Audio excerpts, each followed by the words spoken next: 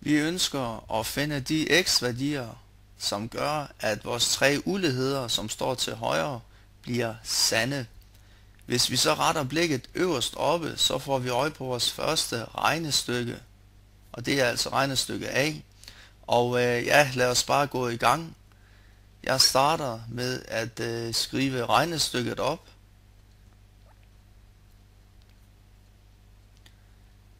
Så vi har altså 3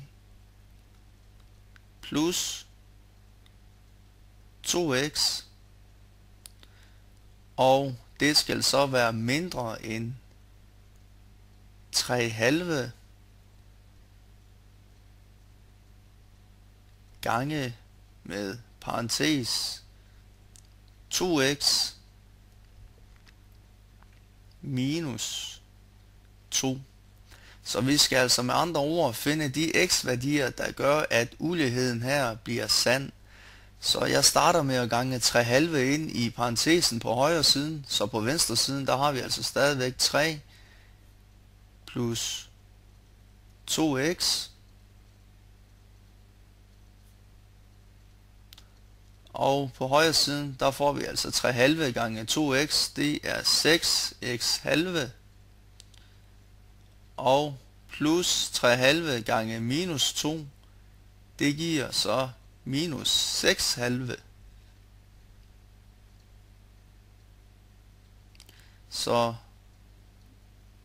i det næste trin, der vil jeg forkorte højre siden. Så på venstre siden, der har vi altså stadigvæk 3 plus 2x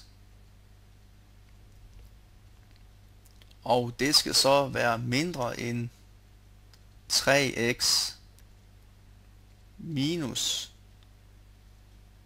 3 og jeg vil gerne have x'erne på den ene side og samle konstanterne på den anden side af ulighedstegnet, så det gør jeg.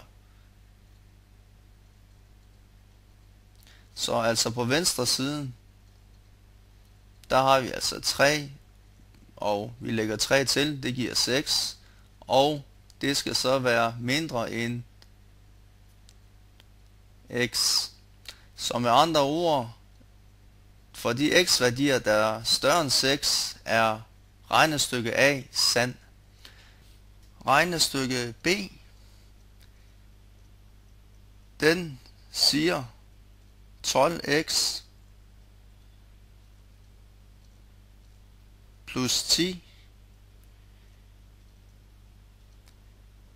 skal være mindre end eller lige 12 plus 14x.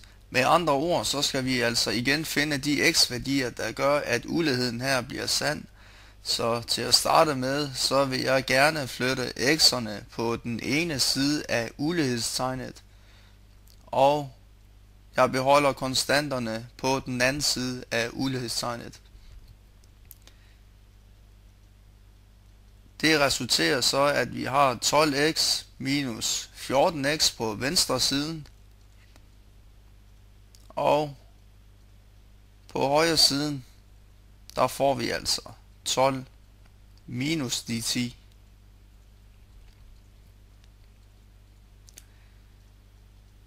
Og regner vi det ud, så vil venstre siden resultere i minus 2x, 12x minus 14x, og det skal så være mindre end 12 minus 10, det er 2. Så vi vil gerne fjerne det minus 2, så det gør vi ved at gange med minus en halv. Og det skal vi så naturligvis gøre på begge sider af ulighedstegnet fordi vi skal have den samme forhold konstant, og når vi ganger med et negativt tal, eller når vi dividerer med et negativt tal, så skal vi huske at vende ulighedstegnet om. Så vi får altså, at x skal være større end eller lige minus 1.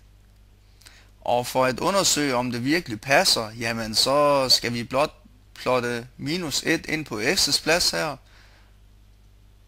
Og så burde uligheden her være sand. Altså minus 1, det er med andre ord grænsen for, at uligheden her skal være sand. Vi kan prøve senere måske, eller det kan I selv gøre, og sætte minus 2 ind på x's plads, så kan I se, at uligheden ikke stemmer. Og øh, på venstre siden af uledstegnet, der har vi altså minus 12 plus 10 skal være mindre end eller lige 12 minus 14. Og det er ens betydende med, at minus 2 skal være mindre end eller lige minus 2. Så vi kan konkludere, at minus 1 er løsningen til uligheden. Og den sidste regnestykke, regnestykke C, der har vi så en påstand, der siger, at x plus 5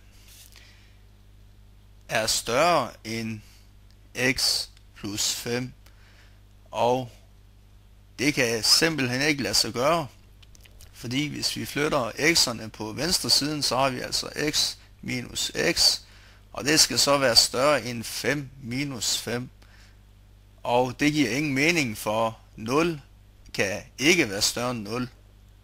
Så påstanden, udsagnet her, det er simpelthen falsk. Der findes ingen løsninger til uligheden.